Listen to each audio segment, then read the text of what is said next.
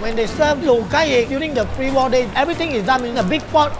Whereas now, I limit myself to chicken wing, belly pork, dessert, pork pig skin, cuttlefish, kangkong.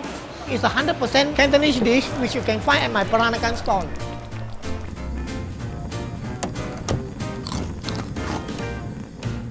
Hello, I'm Charlie from Charlie's Peranakan Food. I'm 64 this year.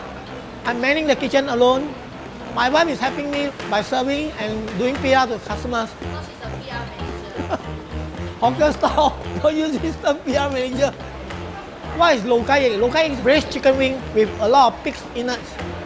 Preparing Loh Kai Yik, the work involved is tedious. The sauce must be done overnight. Overnight, then really ferment, or you won't get the um.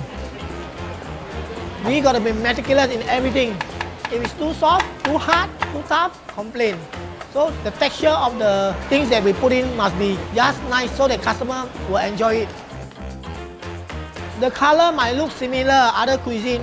Hong Chao Chi and the Peranakan Tohe look similar in color, but entirely different in taste. Lo kai, the base is lam lu. The taste of it is more to the salty and sweet. Whereas Tohe, the base is chinchalo, salty.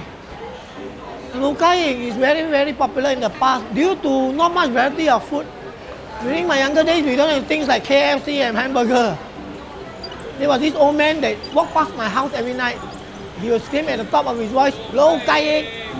So my mom occasionally she would buy for us to eat. Uh. Consider a treat because during our younger days we were not that well off.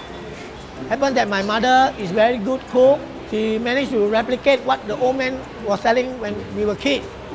So she passed it down to me. Why we serve it? Because the Peranakan love eating it. Since I got the recipe, might as well I serve it. So that the future generation can get to enjoy it.